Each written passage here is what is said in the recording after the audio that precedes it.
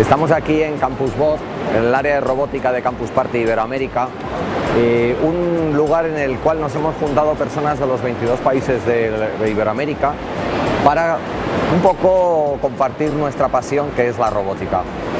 Vamos a hacer varias cosas, eh, una es la exposición de robots, que podéis ver por aquí algunos robots que se han ido exponiendo de participantes que han traído de sus países y también estamos haciendo un taller fantástico de montaje de robots.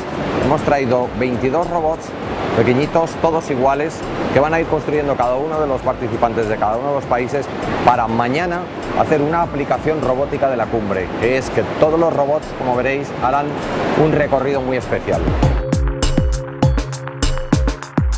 Estamos trabajando en lo que será el robot de la cumbre, es un conjunto de 22 robots de los diferentes países, es exactamente este, el cual nos han facilitado todo el kit, es un, Sky, es un Skybot, está ligeramente modificado de forma de que tendrá una carcasa blanca transparente en la cual se irán reflejando diferentes colores gracias a unos LED RGB.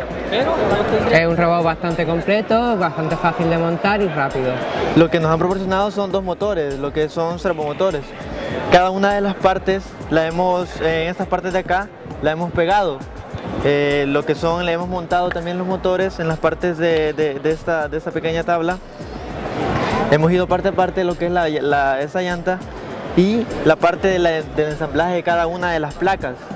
La, que, la placa contiene un microcontrolador de 16F872 y lo que son los los bumpers.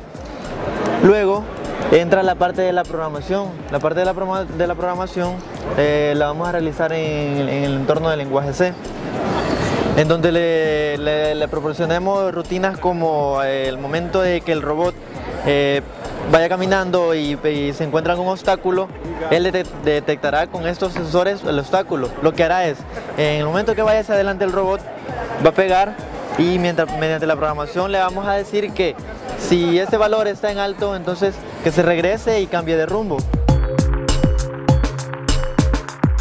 Bueno, la experiencia construyendo el Skype este, ha sido bastante gratificante porque nosotros somos de educación media, estamos terminando nuestra educación media, para nosotros es algo bastante complejo esto. Y pues hemos aprendido bastante, ¿verdad? También el compartir con otros países, la experiencia es bastante agradable, se aprende un montón, los conocimientos de los otros compañeros es bastante grande, uno se queda admirado con los proyectos y los trabajos de ellos.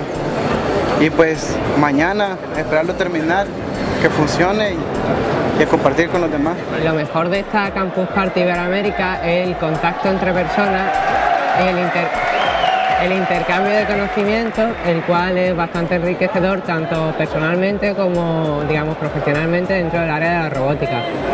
Nunca consigue hacer un proyecto perfecto estando una sola persona.